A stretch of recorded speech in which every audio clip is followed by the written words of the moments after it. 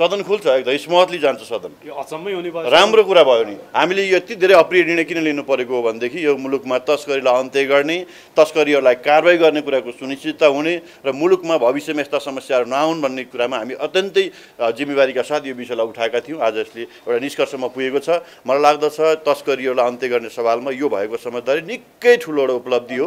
यसमा हामी सबै खुसी हुनुपर्छ। हामीले डे वानबाटै भनिरहेछौँ। सिआइबीले आफ्नो अनुसन्धानको कामलाई निरन्तरता दिँदै जाओस्। त्यसमा कुनै प्रकारको पनि हस्तक्षेप नगरौँ। तर सिआइबीले अहिले पनि उच्च पदस्थ व्यक्तिहरूसम्म पुगेर छानबिनको दायरामा ल्याउन सक्ने अवस्था मुलुकमा छैन। तर यसमा सबै पाटपक्षीहरूलाई हामीले छानबिनको दायरामा ल्याउनु पर्नेछ सबै खालका व्यक्तिहरू ल्याउनु पर्नेछ त्यो काम सिआइबीले गर्ने कुरामा धेरै कारणहरूले आशङ्काहरू गर्ने ठाउँ रह्यो। त्यस कारणले गर्दाखेरि सिआइबीले गर्ने अनुसन्धान अगाडि बढाएर लिएर जान्छ।